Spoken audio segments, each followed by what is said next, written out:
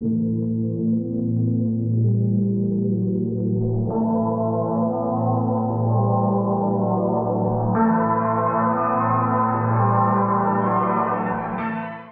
guys, welcome back.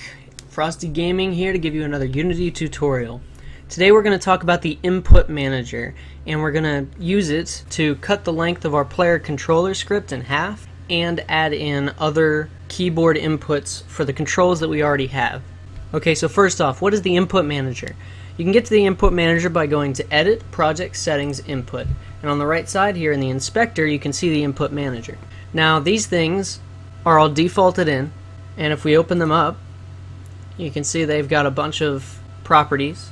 They've got a name, descriptive negative name, negative button, positive, alternative negative button and positive button, gravity, dead zone, sensitivity, snap, invert, the type, which you can choose between key, mouse button, mouse movement, or joystick axis the axis, which has to do mostly with joysticks, and the joy number, which is for joysticks. So you can use this to set up your game with an Xbox 360 controller or a PlayStation 3 controller, any kind of controller that's supported. We're going to use this to add in the arrow keys to our movement for our player. So right now we have WASD as the movement, Q and E as turning, and space as jump. And I'm going to keep those there, but I'm also going to add in the arrow keys. And I'm going to use the input manager to make all of this much easier. So if we open up our script, we can look at the way we did this. So we're doing input.getKey W for WASD, QE, and spacebar. Now what we want to do instead is get the button from the input manager. The way we can do that is by going back to Unity and going to the input manager And if we look at the horizontal here, you can see the negative button and the positive button are left and right. Now these names stand for the left and right arrow key on your keyboard, and the A and D are the WASD left and right. This is all default. I didn't add anything here. This will already be set up. And we can also look at the vertical, which is down and up the arrow keys, and the alternative buttons are S and W for the WASD. And if we go down a little bit further, there's this thing called jump, which is the space bar. So horizontal, vertical, and jump. If we go back to our script, we can go ahead and copy and paste this. And instead of get key, since we're going to get a button from the input manager, we're going to do get button. We're going to go ahead and do the horizontal first. And we don't actually need this equals equals true. If you just do this, it will take this method and return a true or false depending on if that's the button that's been pushed or not. We can then go down here and add an input dot get axis horizontal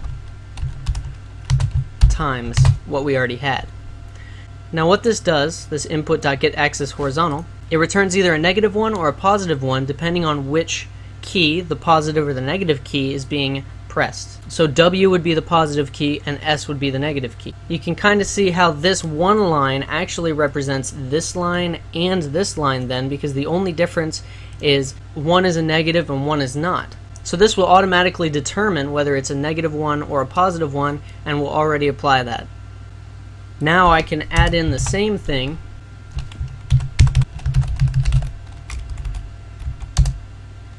except this time we're going to get the vertical. And we can get rid of this. And then we can add in the input dot get axis for the vertical. Multiply it. So now we have our horizontal and our vertical our WS and our AD keys.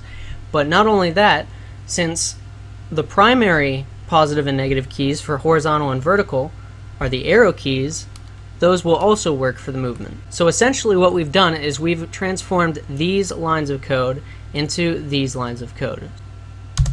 So we can just get rid of that. Actually what we're going to want to do is change this transform.forward to transform.right. Because our horizontal we don't want to be moving forward and backward, we want it to be moving left and right. So we could build it Go back to our scene and test it out. The WASD still works, and now the arrow keys work as well. Okay, another cool thing that we can do with the input manager is we can add inputs.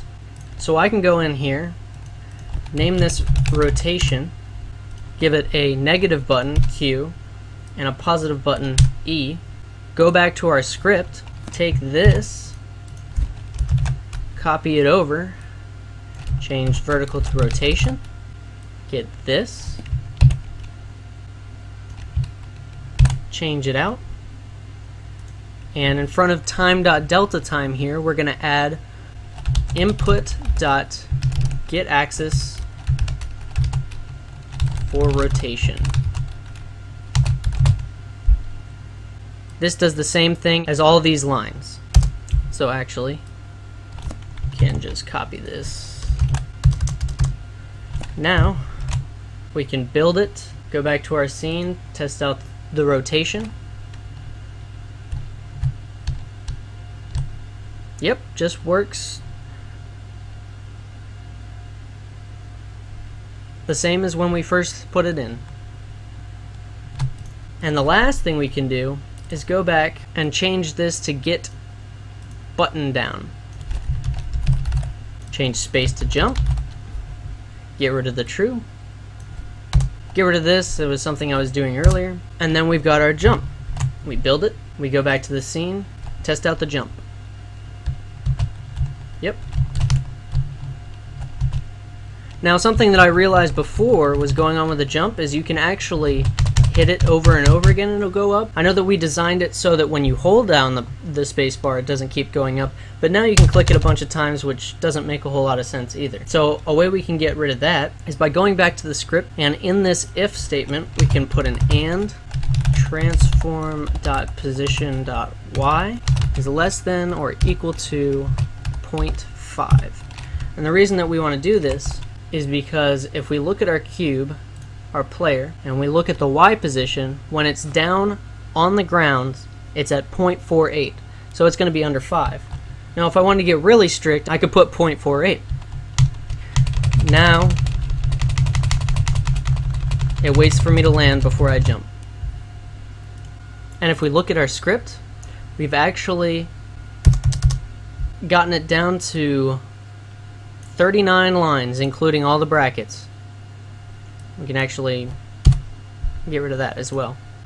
And actually, we can cut this down even more by getting rid of this function. Make that 32 lines of code.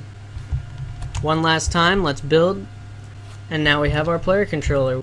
Alright, that's it for this video. I hope you guys enjoyed it. I hope you understand a little bit more about the input manager now. Alright, I'll see you guys next time.